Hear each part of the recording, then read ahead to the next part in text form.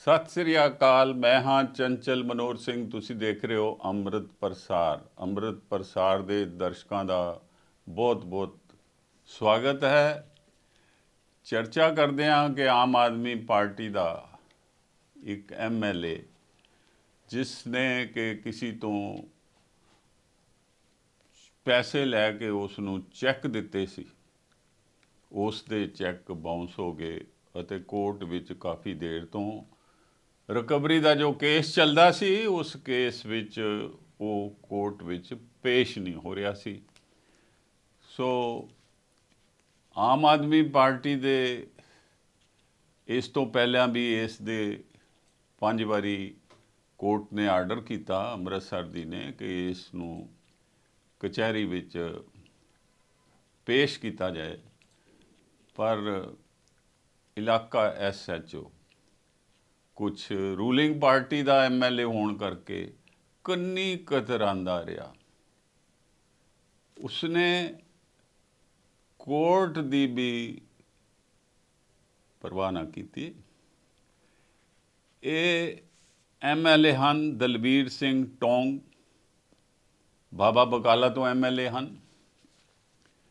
ਔਰ ਹੁਣ ਜੋ ਕੋਰਟ ਨੇ ਆਰਡਰ ਇਸ਼ੂ ਕੀਤੇ ਹਨ ਉਹ ਵੀ ਬੜੇ ਹੀ ਸਖਤ ਹਨ। ਕਿਉਂਕਿ ਕੋਰਟ ਨੇ ਇਹ ਦੇਖ ਲਿਆ ਕਿ ਉਹ ਰੂਲਿੰਗ ਪਾਰਟੀ ਦਾ ਐਮਐਲਏ ਹੈ तो ਐਸਐਚਓ ਜੋ ਹੈ, ਉਹ ਕੰਨੀ ਕਤਰਾ ਰਿਹਾ, ਅਰੈਸਟ ਕਰਨ ਦੀ ਹਿੰਮਤ ਨਹੀਂ ਕਰ ਰਿਹਾ, ਜਾਂ ਵੇਲਾ ਖੁਜਾ ਰਿਹਾ। ਤੋ ਜਿਹੜੇ ਵਾਰੰਟ ਅਰੈਸਟ ਦੇ ਹੁਣ ਕੋਰਟ ਨੇ ਇਸ਼ੂ ਕੀਤੇ ਹਨ। ਉਹਦੇ ਵਿੱਚ ਉਹਨਾਂ ਨੇ ਦੋ ਬੜੀਆਂ ਸਖਤ ਜ਼ਿੰਮੇਵਾਰੀਆਂ ਐਸਐਚਓ ਉੱਪਰ ਲਗਾ ਦਿੱਤੀਆਂ ਹਨ। ਉਹਨਾਂ ਨੇ ਇਹ ਕਿਹਾ ਕਿ ਜੋ ਇਹ ਐਸਐਚਓ ਹੈ, ਇਹ ਇਸ ਨੂੰ ਅਰੈਸਟ ਕਰਕੇ 27 ਫਰਵਰੀ ਨੂੰ ਕੋਰਟ ਵਿੱਚ ਪੇਸ਼ ਕਰੇਗਾ। ਜੇਕਰ ਉਹ ਜਿਹਾ ਨਹੀਂ ਕਰਦਾ ਤਾਂ ਉਹ ਖੁਦ ਪੇ ਕੋਰਟ ਵਿੱਚ ਹਾਜ਼ਰ ਹੋਵੇ ਅਤੇ ਉਸ ਨੂੰ ਨਾ ਫੜਨ ਦੀ ਜ਼ਿੰਮੇਵਾਰੀ ਉਹਦੇ ਉੱਪਰ ਠੋਸੀ ਜਾਏਗੀ। ਸੋ ਅੰਮ੍ਰਿਤਸਰ ਦੀ ਕੋਰਟ ਨੇ ਜੋ ਹੁਣ ਆਖਰੀ 6ਵੀਂ ਵਾਰ ਹੁਕਮ ਜਾਰੀ ਕੀਤਾ ਹੈ, ਉਹਦੇ ਵਿੱਚ ਉਹਨਾਂ ਨੇ ਦੋ ਸਖਤ ਕੰਡੀਸ਼ਨਾਂ ਇਲਾਕੇ ਦੇ ਐਸਐਚਓ ਤੇ ਹੀ ਲਗਾ ਦਿੱਤੀਆਂ। ਇੱਕ ਤੇ ਉਹਨਾਂ ਨੇ ਕਿਹਾ ਕਿ ਐਸਐਚਓ ਉਸ ਨੂੰ ਗ੍ਰਿਫਤਾਰ ਕਰਕੇ 27 ਫਰਵਰੀ ਨੂੰ ਕੋਰਟ ਵਿੱਚ ਪੇਸ਼ ਕਰੇਗਾ। ਅਤੇ ਜੇਕਰ ਉਹ ਅਜਿਹਾ ਕਰਨ ਵਿੱਚ ਨਾ ਕਾਮ ਹੁੰਦਾ, ਤਾਂ ਇਸ ਦੀ ਜ਼ਿੰਮੇਵਾਰੀ ਉਸ ਉੱਪਰ ਥੋਪੀ ਜਾਏਗੀ, ਨਿਸ਼ਚਿਤ ਕੀਤੀ ਜਾਏਗੀ ਔਰ ਉਸ ਨੇ 17 ਫਰਵਰੀ ਨੂੰ ਐਸਐਚਓ ਨੇ ਵੀ ਕੋਰਟ 'ਚ ਪੇਸ਼ ਹੋਣਾ। ਸੋ ਇਹ ਜੋ ਪੁਲਿਸ ਹੈ, ਇਹ ਉਵੇਂ ਹੀ ਕਰ ਰਹੀ ਹੈ ਜਿਵੇਂ ਕਿ ਬਾਕੀ ਪਾਰਟੀਆਂ ਦੇ ਰਾਜ ਵਿੱਚ ਕਰਦੀ ਹੈ ਕਿ ਇਲਾਕੇ ਦੇ ਐਮਐਲਏ ਨੂੰ ਹੱਥ ਪਾਉਣ ਤੋਂ ਘਬਰਾਉਂਦੀ ਹੈ। ਤੋ ਇਹ ਬਾਬਾ ਬਕਾਲਾ ਦਾ ਜੋ ਐਸਐਚਓ ਹੈ, ਇਸ ਨੇ ਕਾਫੀ ਲੰਮੀ ਢੀਲ ਲੈ ਲਈ। ਕੋਰਟ ਨੇ ਵੀ ਬੜਾ ਸਬਰ ਦਿਖਾਇਆ। ਯਾਨੀ ਕੋਰਟ ਉਹਨੂੰ ਪੰਜ ਵਾਰੀ ਆਰਡਰ ਇਸ਼ੂ ਕਰ ਬੈਠੀ ਹੈ ਵਾਰੰਟ ਕਿ ਉਸ ਨੂੰ ਅਰੈਸਟ ਕਰੋ ਤੇ ਪੇਸ਼ ਕਰੋ। ਤੋ ਹੁਣ ਸਵਾਲ ਇਹ ਹੈ ਕਿ ਦਲਵੀਰ ਸਿੰਘ ਟੌਂਕ ਨੂੰ ਫੜਨਾ ਕੋਈ ਮੁਸ਼ਕਲ ਨਹੀਂ ਐਮਐਲਏ ਤਾਂ ਲੈ ਕੇ ਜੀ ਘੁੰਮਦਾ ਹੁੰਦਾ, ਘਰੇ ਹੀ ਸੌਂਦਾ ਆ ਕੇ। ਔਰ ਉਸ ਬਾਰੇ ਇਹ ਵੀ ਦੱਸਿਆ ਜਾਂਦਾ ਹੈ ਕਿ 26 ਜਨਵਰੀ ਨੂੰ ਬਾਬਾ ਬਕਾਲਾ ਸਾਹਿਬ ਵਿਖੇ ਉਸ ਨੇ ਸਪੋਰਟਸ ਕਲੱਬ ਦਾ ਗਣਤੰਤਰ ਦਿਵਸ ਤੇ ਤਿਰੰਗਾ ਝੰਡਾ ਵੀ ਚਲਾਇਆ। ਐਸਐਚਓ ਉਥੇ ਰੈਸਟ ਕਰ ਸਕਦਾ ਸੀ, ਪਰ ਐਸਐਚਓ 'ਚ ਇੰਨੀ ਹਿੰਮਤ ਨਹੀਂ ਸੀ।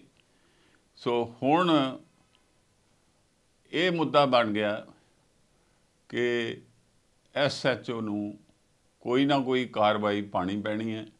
ਨਹੀਂ ਤੇ ਕੋਰਟ ਐਸਐਚਓ ਉੱਪਰ ਵੀ ਕੋਈ ਐਕਸ਼ਨ ਲੈ ਸਕਦੀ ਹੈ। ਤੁਸੀਂ ਇਹ ਦੇਖੋ ਕਿ ਜੋ ਐਮਐਲਏ ਹੈ, ਇਹਨਾਂ ਨੇ ਲੋਕਾਂ ਨੂੰ ਸੇਧ ਕੀ ਦੇਣੀ ਹੈ।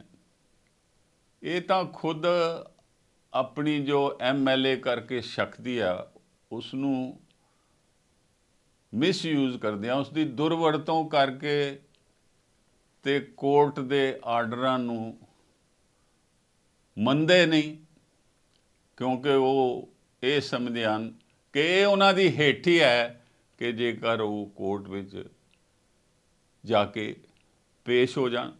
ਸੋ ਪੁਲਿਸ ਦੀ ਨਾਲ ਰਜਾਮੰਦੀ ਹੋ ਗਈ, ਉਹ ਉਹਨਾਂ ਨੂੰ ਅਰੈਸਟ ਨਹੀਂ ਕਰਦੇ। ਇਹ ਜੋ ਐਮਐਲਏ ਹੈ, ਇਹ ਪਹਿਲਾਂ ਵੀ ਤਰਨਤਾਰਨ ਪੁਲਿਸ ਵੱਲੋਂ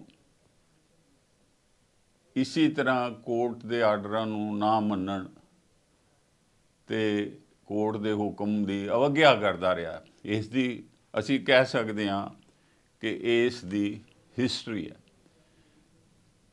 ਪਰ ਹੁਣ ਅਜਿਹਾ ਨਹੀਂ ਹੋਣਾ, ਕਿਉਂਕਿ 17 ਫਰਵਰੀ ਅਗਰ ਐਸਐਚਓ ਗ੍ਰਿਫਤਾਰ ਨਹੀਂ ਕਰਦਾ, ਤਾਂ ਉਸ ਦੀ ਆਪਣੀ ਜੋ ਨੌਕਰੀ ਹੈ, ਉਹਦਾ ਰਿਕਾਰਡ ਖਰਾਬ ਹੋ ਸਕਦਾ ਹੈ। ਕਿਉਂਕਿ ਕੋਰਟ ਕੀ ਆਰਡਰ ਕਰੇਗੀ ਇਹ ਕਿਸੇ ਨੂੰ ਨਹੀਂ ਪਤਾ।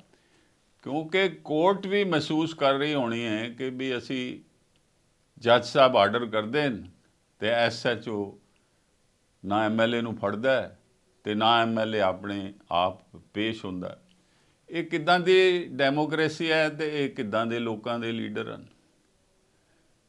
ਕੋਰਟ ਦੇ ਹੁਕਮ ਨੂੰ ਮੰਨਣਾ ਹਰ ਨਾਗਰਿਕ ਦਾ ਫਰਜ਼ ਹੈ। ਔਰ ਜਿਸ ਉੱਪਰ ਇਸਤਗਾਸਾ ਹੋਇਆ ਹੋਇਆ ਕਿ ਉਸ ਦੇ ਚੈੱਕ ਬਾਉਂਸ ਹੋਏ ਔਰ ਚੈੱਕ ਬਾਉਂਸ ਹੋਣ ਦਾ ਮਤਲਬ ਇਹ ਹੈ ਕਿ ਉਸ ਨੂੰ 17 ਫਰਵਰੀ ਨੂੰ ਕੋਰਟ ਜੇਲ੍ਹ ਵੀ ਭੇਜ ਸਕਦੀ ਹੈ।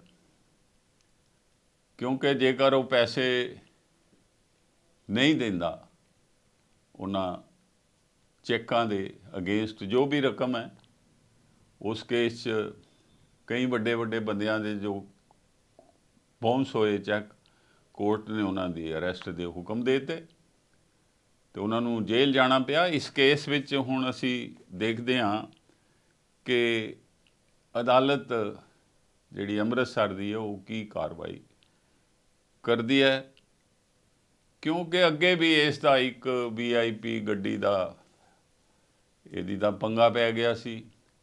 ਉਸ ਤੇ ਪੰਜਾਬ ਦੇ ਮੁੱਖ ਮੰਤਰੀ ਭਗਵੰਤ ਮਾਨ ਜੀ ਨੂੰ ਕਾਫੀ ਸ਼ਰਮਿੰਦਗੀ ਝੇਲਣੀ ਪਈ।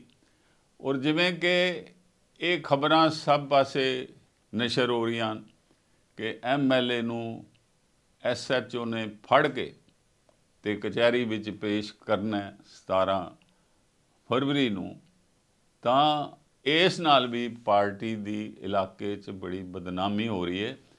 ਆਮ ਆਦਮੀ ਪਾਰਟੀ ਬਾਰੇ ਇੱਕ ਇਮੇਜ ਬਣ ਰਿਹਾ ਕਿ ਇਹਨਾਂ ਦੇ ਕੁਝ ਐਮਐਲਏ ਵਿਸ਼ਵਾਸ ਨਹੀਂ ਕਰਦੇ ਡਿਸਪਲਿਨ 'ਚ। ਸੋ ਹੁਣ ਦਲਬੀਰ ਸਿੰਘ ਟੌਂਗ ਕੋਲ ਇੱਕੋ ਹੀ ਚਾਰਾ ਰਹਿ ਗਿਆ ਕਿ ਉਹ ਸੈਸ਼ਨ ਜੱਜ ਦੇ ਅਪੀਲ ਠੋਕੇ। ਪਰ ਜ਼ਰੂਰੀ ਨਹੀਂ ਉਹਦੀ ਅਪੀਲ ਨੂੰ ਜਿਹੜਾ ਸੈਸ਼ਨ ਜੱਜ ਕੋਈ ਰਿਸਪਾਂਸ ਦੇਗਾ।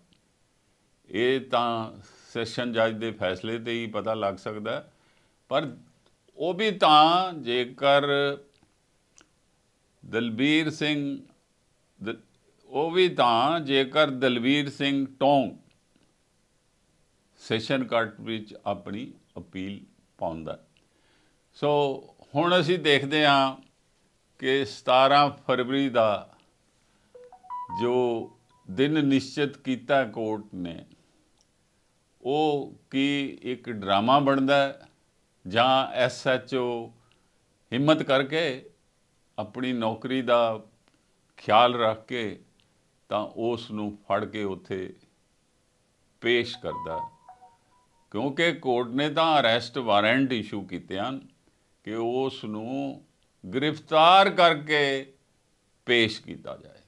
ਸੋ ਬਾਬਾ ਬਕਾਲਾ ਕਨਸਟੀਚੁਐਂਸੀ ਦੇ ਐਮਐਲਏ ਦਲਵੀਰ ਸਿੰਘ ਟੋਂਗ ਲਈ 17 ਫਰਵਰੀ ਦਾ ਦਿਨ ਕਿੱਦਾਂ ਦਾ ਸਾਬਤ ਹੋਏਗਾ, ਇਹ ਜਦੋਂ ਉਹਨੂੰ ਫੜ ਕੇ ਕੋਰਟ ਵਿੱਚ ਪੇਸ਼ ਕੀਤਾ ਜਾਏਗਾ, ਤਾਂ ਫਿਰ ਉਹ ਕੋਰਟ ਕੀ ਰੁਖ ਲੈਂਦੀ ਹੈ, ਉਥੋਂ ਪਤਾ ਲੱਗੇਗਾ। ਇਸ ਚਰਚਾ ਨੂੰ ਇੱਥੇ ਸਮਾਪਤ ਕਰਦੇ ਹਾਂ ਅਤੇ ਆਪ ਜੀ ਨੂੰ ਮੇਰੀ ਗੁਜਾਰਿਸ਼ ਹੈ, ਜੇਕਰ ਤੁਸੀਂ ਇਸ ਚੈਨਲ ਨੂੰ, ਅੰਮ੍ਰਿਤ ਪ੍ਰਸਾਰ ਨੂੰ ਹੁਣ ਤੀਕਨ ਸਬਸਕ੍ਰਾਈਬ ਨਹੀਂ ਕੀਤਾ, ਇਸ ਨੂੰ ਸਬਸਕ੍ਰਾਈਬ ਕਰੋ। ਇਸ ਦਾ ਬੈਲ ਆਈਕਨ ਦਬਾਓ, ਯਾਨੀ ਇਹਦੀ ਘੰਟੀ ਦਬਾਓ। ਤਾਂ ਜੋ ਜਿਹੜੀ ਵੀਡੀਓ ਦਾ ਨੋਟੀਫਿਕੇਸ਼ਨ ਹੈ, ਉਹ ਸਿੱਧਾ ਤੁਹਾਨੂੰ ਮਿਲੇ ਅਤੇ ਤੁਸੀਂ ਆਜ਼ਾਦ ਪੱਤਰਕਾਰੀ ਦੀ ਜਿਹੜੀ ਨਵੀਂ ਵੰਨਗੀ ਤੁਹਾਡੇ ਸਾਹਮਣੇ ਸਾਡੀ ਵੀਡੀਓ ਲੈ ਕੇ ਆਏਗੀ। ਉਸ ਦਾ ਤੁਸੀਂ ਜਿਹੜਾ ਉਸ ਨੂੰ ਪੜ੍ਹ ਕੇ ਅਤੇ ਉਸ ਦਾ ਤੁਸੀਂ ਪ੍ਰਭਾਵਿਤ ਹੋ ਸਕਦੇ ਹੋ। ਧੰਨਵਾਦ। ਸਤਿ ਸ੍ਰੀ ਅਕਾਲ।